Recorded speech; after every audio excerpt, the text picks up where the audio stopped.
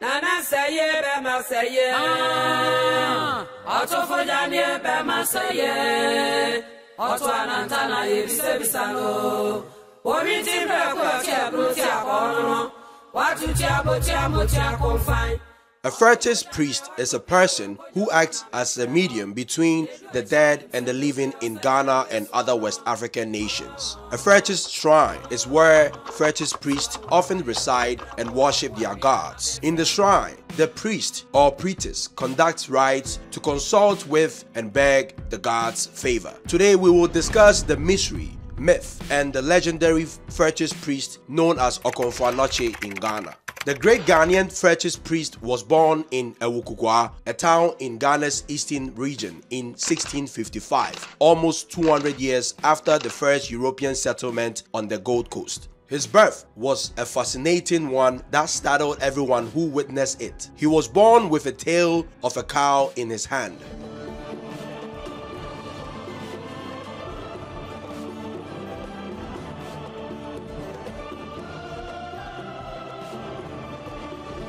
The midwives who attended to his mother were perplexed since they had never seen or heard anything like it. They then summoned his father, Ano, to come see what his wife had delivered. They yelled, Ano Che, which translates as Ano Luke in the Tripon language, which is commonly spoken in the region. The Akan word for a cow's tail, Podia, is said to have been a talisman. The people believe the talisman was a gift from the gods and proof that Anokye was born to be great. If you are putting into a leadership position in your family, like a family head or a chief of a town, everywhere you go, your people would like to see you coming back home with an achievement.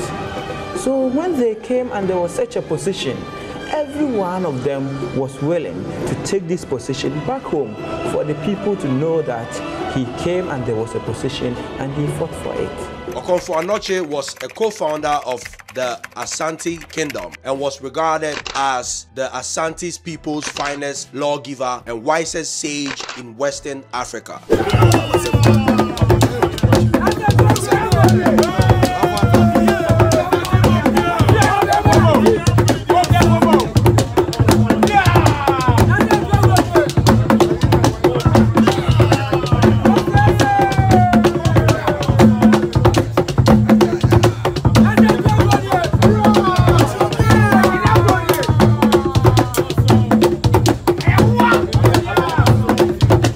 Had a significant influence on the Asante nation upon its inception. He is the primary builder of Asante laws, customs, and supernatural beliefs. The Asante Empire overthrew neighboring kingdoms including the Akans peoples Denkyira 1699. The Asante army was initially ineffective during the two-year Denkyira Asante conflict. According to reports, Anokye, King Osei advisor, chanted incantations at the Denkyira army, leading the majority of the army's generals to desert to the Asante side. As a consequence, the Asante people overcame the Denkyira, took possession of Elmina Castle, and Anokye earned his reputation as a powerful priest. There are several accounts of the priest's outstanding acts and miraculous healing. Among Okomfo Anokye's miracles are Okomfo's magical might brought the Asante chiefdoms together to become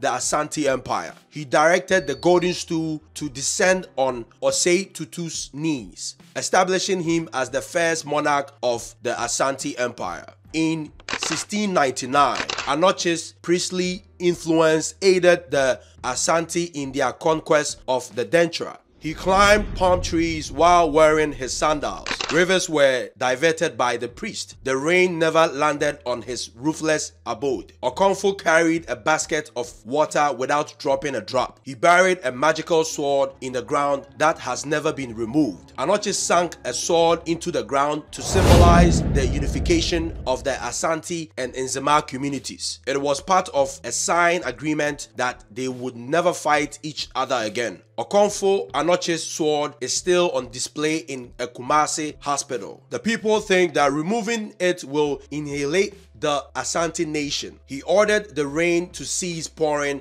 during a traditional festival. Anokye had the ability to teleport from one location to another within seconds. He walked in the rain every day without getting wet. Okomfo grew plantain in one day in front of a crowd. On the same day, they harvested and prepared it. Anokye used his bare fingers to construct a board for Oware, a pit and pebble game from a stone slab. A palm tree sprang where he poured a drag of palm wine. The tree is located in the town of Awukugua. Its fruit is gathered annually and distributed among the seven traditional stew holders in the region. When King Osei Tutu died in 1717, Okomfo Anokye returned to his native Akuapem. He died between 1717 and 1719 in Trepatre, Kumasi. His demise was mysterious. No one grieved him since it was assumed he went to bring the key to death. When he did not return, the village folks realized he was gone for good. His renown and notoriety skyrocketed following his death. Okomfo Anokye is one of Ghana's most well-known ancient leaders today. People make songs and poetry in his honor. He forewarned that destroying the golden stool or letting it be captured by the enemy would devastate the Asante kingdom. Even though it's a myth, a lot of people believe it's true. To conclude, Okomfo Anokye deserves greater praise for his commitment and selflessness as a political and religious leader. He isn't talked about enough. Historians claim that Anokye possessed the intellectual, emotional, and oratory strength to persuade the neighboring nations to join the Asante Empire by uniting under Osei Tutu. He was also a superb legislator. He was said to have provided the Asante with norms of behavior. It included all aspects of life, including conception, child rearing, puberty rights, sexual behavior, installing chiefs, national governance, and death and burial ceremonies. The renowned priest Okomfo Anokye was like that. His exploits and superhuman abilities are still evident in the pageantry of the Asantes in Ghana today. Visit Ghana to witness the magical sword that cannot be removed. Thanks for watching. Be sure to stick around for more informative videos coming soon.